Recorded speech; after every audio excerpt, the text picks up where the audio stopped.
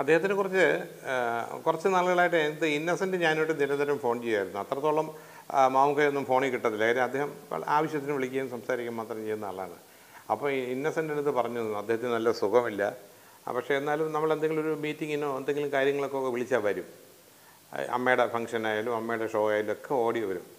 പിന്നെ ഞങ്ങൾക്ക് എല്ലാവർക്കും ഞങ്ങൾക്കെന്നല്ല എല്ലാവർക്കും പുള്ളി ഇഷ്ടമാണ് സിനിമയിലെ. കാര്യം എല്ലാവരും പെരുമാറുന്ന രീതി ഒരു സാധാരണ മനുഷ്യൻ ഒരു സിനിമാ നടൻ എന്നുള്ള ഒരു ലേബിളിനും പുള്ളി അതിന്റെ ഒരു എൻഹാൻസ്മെന്റ് ഒന്നും പുള്ളി കാണിക്കാറില്ല. ഒരു മുണ്ട് കൊടുത്ത് അല്ലെങ്കിൽ ഒരു ലുങ്കി എടുത്ത് ഒരു ഷർട്ട് ഇട്ട് നടക്കുന്ന ആളാണ് അദ്ദേഹം.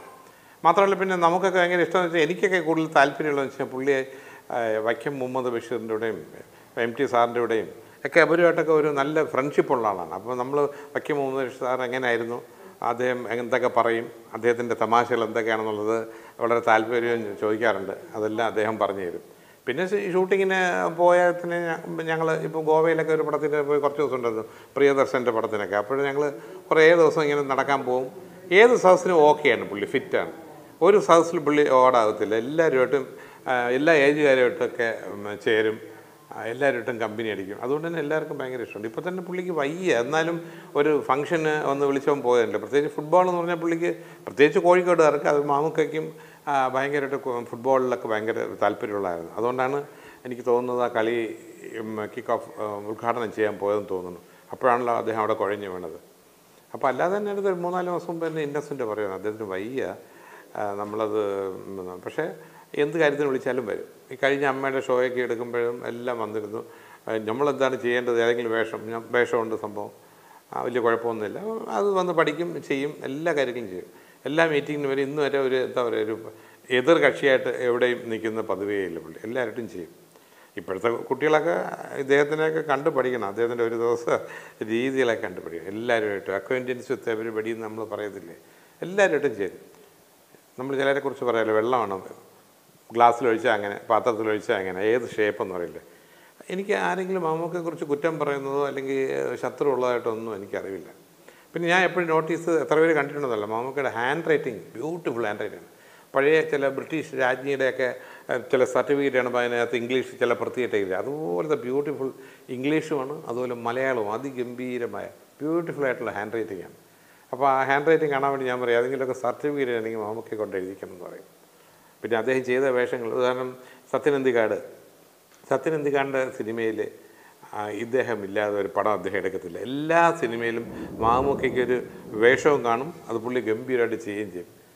അദ്ദേഹത്തിന്റെ ഒരു പ്രസൻസ് ഇല്ലാതെ എനിക്ക് തോന്നുന്നു സത്യം പടം എടുത്തിട്ടില്ലെന്ന് അത്രയ്ക്ക് ഇഷ്ടമാണ് സംഭവം. പിന്നെ സിബി മനയിൽ എല്ലാ മ- പ്രിയദർശൻ എല്ലാ ഡയറക്ടറുടെ പടത്തിലും അദ്ദേഹം ഒരിക്കൽ ചെന്ന് പെട്ട് കഴിഞ്ഞാൽ പിന്നെ അതൊരു കണ്ടിന്യൂറ്റിയാണ് അവർ പിന്നെ നിരന്തരം വിളിക്കും. അതിന്റെ കാരണങ്ങളൊന്ന് പുള്ളിയുടേതായ ഒരു സ്റ്റൈലുണ്ട് ആക്ടിങ്ങിനും ഭാഷയ്ക്കും.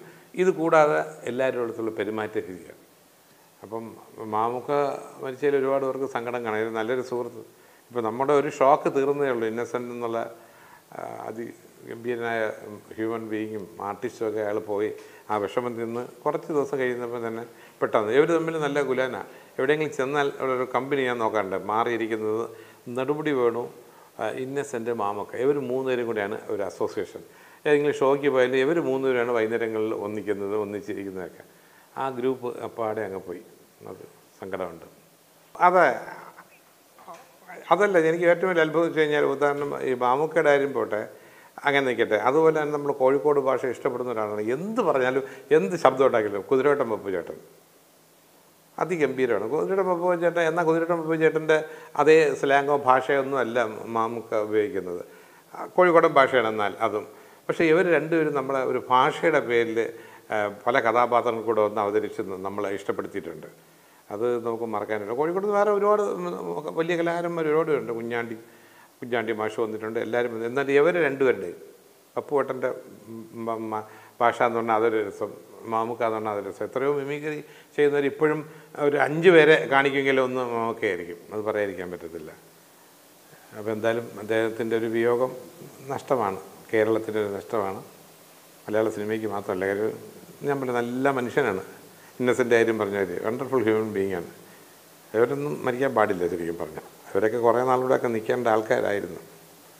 എന്തായാലും എന്റെ കുടുംബത്തിന് എന്റെ എന്റെ അതേ ഒരുപാട് വേഷങ്ങൾ ചെയ്തിട്ടുണ്ട്. ഈ ഒരേ ഭാഷ തന്നെ ഒരാൾ എല്ലാത്തിലും പറഞ്ഞ് അങ്ങനെയല്ല. പുള്ളി വരുമ്പോൾ തന്നെ ഒരു സ്ക്രീൻ പ്രസൻസ് എന്നൊരു സംഭവമുണ്ട്. ഒരു ആർട്ടിസ്റ്റ് തിയേറ്ററിൽ വരുമ്പം പ്രത്യക്ഷപ്പെടുന്ന ജനങ്ങളുടെ ഇടയിൽ ഒരു ചിരിയും കാര്യങ്ങളും വരുന്നത്. അതായത് ഒരു സ്ക്രീൻ പ്രസൻസ് ഉണ്ടാക്കാൻ കഴിഞ്ഞിട്ടുള്ള ആളാണ്.